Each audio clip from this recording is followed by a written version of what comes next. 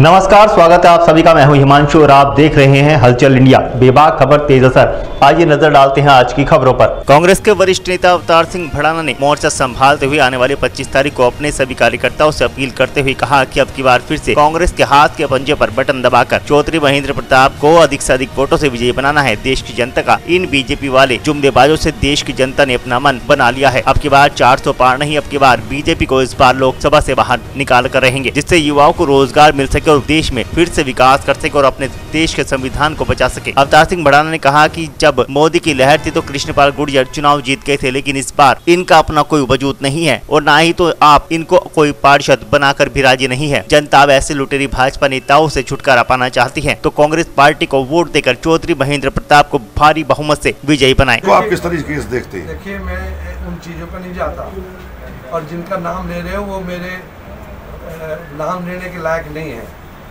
उनको पूरी जनता जानती है कि उनकी अपनी कोई हैसियत है नहीं।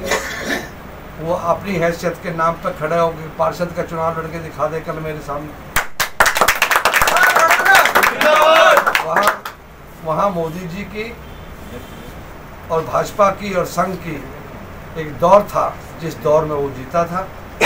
अब जनता समझ गई है उन सब चीज़ों को। और राहुल जी के भरोसे पर देश की जनता नहीं, देश की जनता पूरे, पूरा देश पलटेगी। और एक नई कांग्रेस की गठबंधन की सरकार बनेगी। और मुझे लगता है कि गठबंधन की सरकार में गठबंधन के सर्वसम्मति से प्रधानमंत्री राहुल गांधी बनेंगे। किन कारणों से कृष्णपाल जी मोदी के नाम से वोट मांग रहे हैं। अपने नाम से 10 साल के कार्यकाल में वोट नहीं मांग पा रहे। उनका कुछ नाम और गाम है ही नहीं। वो तो उन्होंने तो जितना जुल्म और लोगों को सताया और जितना लूटा है उसका तो हिसाब चुका देगी इस बार जनता।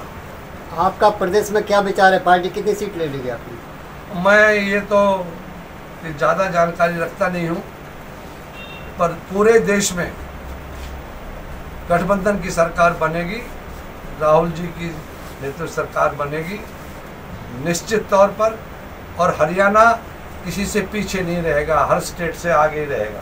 फरीदाबाद में जीत का मार्जिन कितना रहने वाला है? फिर मैं कहूँगा कि मैं मार्जिनों पर नहीं जाता विजय तो विजय होती है चाहे एक वोट से हो हम विजयी होंगे। वक्त हो चला है आपसे विदा लेने का, कल फिर होंगे हाजिर, कुछ नई और ताज़ा खबरों के साथ। तब तक के लिए दीजिए हमें इजाज़त, नमस्कार। हमारे यूट्यूब और फेसबुक चैनल को फॉलो और सब्सक्राइब करना ना भूलें।